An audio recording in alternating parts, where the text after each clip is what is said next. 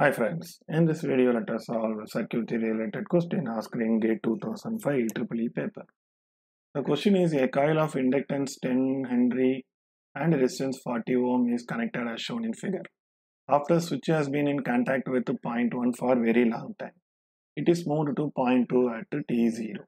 If at t is equal to 0 plus the voltage across the coil is 120 volt, what is the value of resistance R? Right, so it is in contact with the point 1 for long time. So at t is equal to 0 only it is moving to point 2 so at t is equal to 0 minus switch is in contact with the point 1 so it will be like this.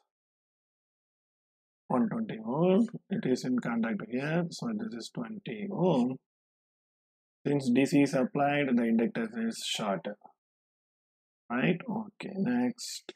40 40 ohm. Now I can find what is the current flowing through this inductor IL0 minus. So IL0 minus is equal to V by R. What is the voltage? 120 divided by 60. This is 2 ampere.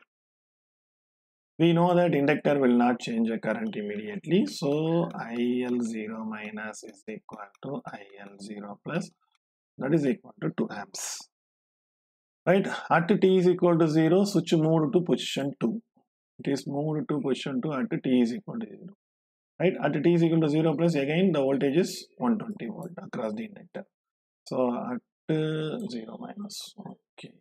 It's not 0 oh. at t is equal to 0 switch moved to position 2 so it will be like this. Okay.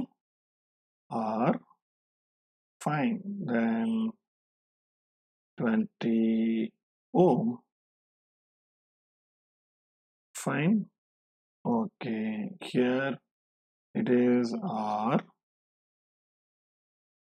Now what is the current voltage? Voltage is 120 right? Okay. Now we have uh, this one inductor.